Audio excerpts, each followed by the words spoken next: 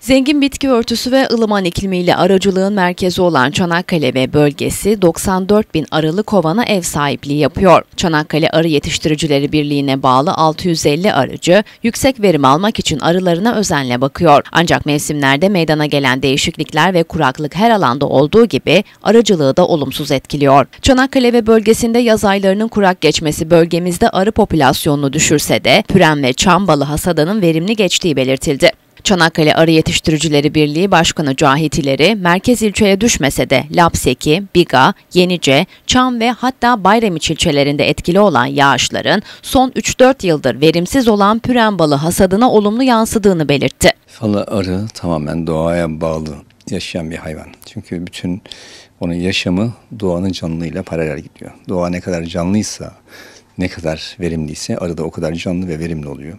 Dolayısıyla Çanakkale ilçe merkezi, merkez ilçenin kenarlarında yağış birazcık kıt oldu ama Lapseki, Biga, e, Yenice, Çan, hatta Bayramiç e, yağıştan yeteri kadar nasibini aldılar. Dolayısıyla e, oraları merkez ilçeye göre güzel oldu. Hatta yıllardan beri, bizim 3-4 yıldan beri alamadığımız püren balımız inşallah bu yıl çıkacak. Arkadaşlarımız şu an arılarına pürene getiriyorlar. Püren bir bölgemizin çok özel bir bitkisi.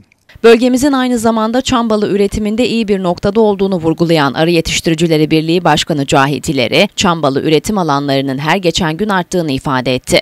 Ee, Bölgemiz aynı zamanda çam balı üretiminde iyi noktadayız. Yani çam balı her geçen gün artarak devam ediyor.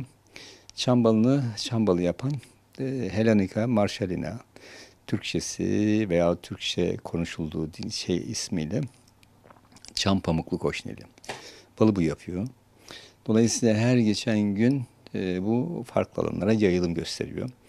E, yani çam balı üretim alanları her geçen gün artıyor. E, dolayısıyla ilimiz aynı zamanda bir çam balı üretim merkezi konumunda. Dolayısıyla çam balı aynı zamanda ülkenin ihraç ürünü. Yani Avrupa'da olmayan bir bal. Özellikle Türkiye'den Avrupa'ya ihraç edilen çok değerli bir ürün.